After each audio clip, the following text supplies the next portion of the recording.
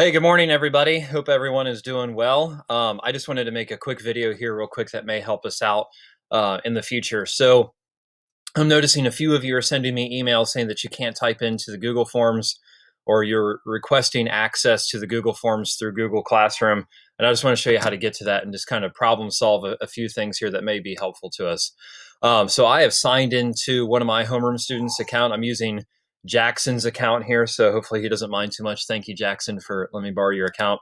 Um, I'm going to go down here and click on Classroom. And so, because what's tricky for me is I don't always know what it looks like from the student side of things. So um, I noticed that some of you guys have been skipping a day, uh, and when I never under really understood why, but now I see that when you sign in, Google Classroom shows you this. And the problem with this screen right here is that it is um, not showing you Tuesday. So here's what I'm going to tell you. Click here, click on the image, click on my name. It's going to take you to the classroom. You're going to see the front page. This is good because I'm going to put announcements up here and everything else. You can go to classwork. And right here, you're going to see the classwork for this week.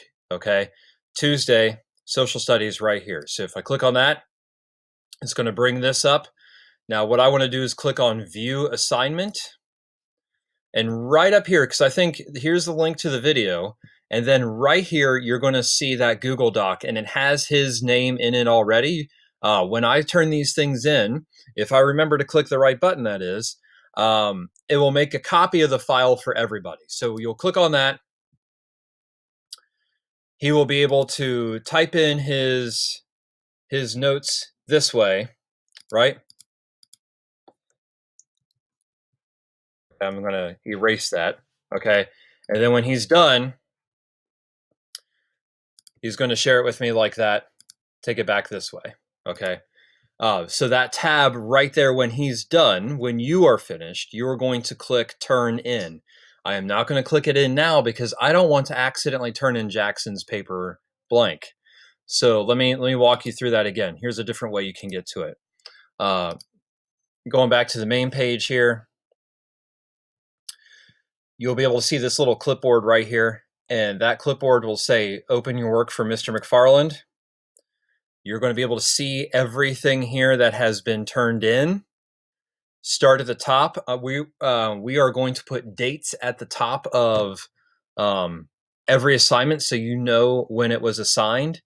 Um, so right here, he can click on that.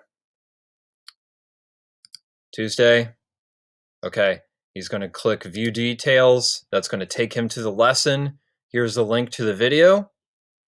And then here's the here's that part. Now you guys can print that, type it in however you want. And then again, clicking on that, he'll type his answers, right? And then when he's done, you're going to go right up here where it's saying turn in that's that's going to turn that in for you. If you have any questions, let me know. Email me, uh, message me on Dojo or anything else like that. Hopefully that helps. All right. Have a great day, guys. Bye.